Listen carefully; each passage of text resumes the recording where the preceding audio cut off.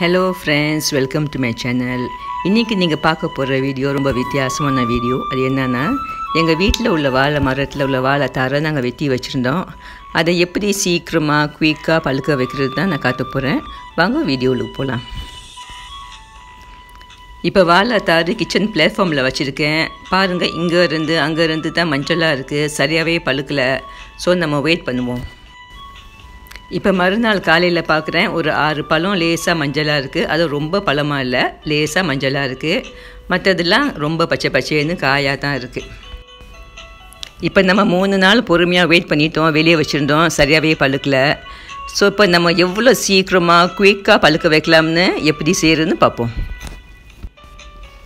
இந்த வாழை தாரில் அஞ்சு சீப்பு இருக்குது நம்ம ஒவ்வொரு சீப்பாக தனியாக வெட்டி வச்சுக்குவோம்.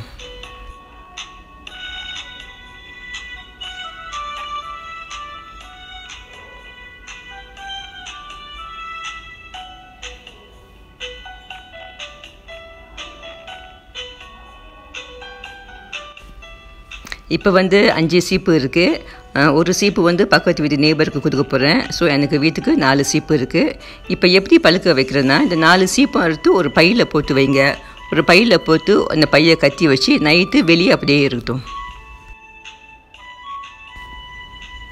இப்போ மறுநாள் காலையில் பையை பிரித்து பார்க்குறேன் அதில் வந்து ஒரு சீப்பு வந்து நல்ல மஞ்சளாக இருக்குது பழமாக இருக்குது அப்புறம் மற்ற எல்லாமே காயாக தான் இருக்குது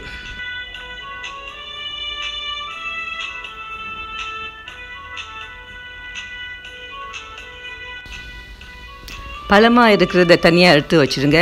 அப்புறம் மீறி மூணு சீப்பு காயாக இருக்குல்ல அதை திருப்பி பையில் போட்டு கத்தி வச்சு திருப்பி நைட்டு வெளியே இருக்கட்டும்.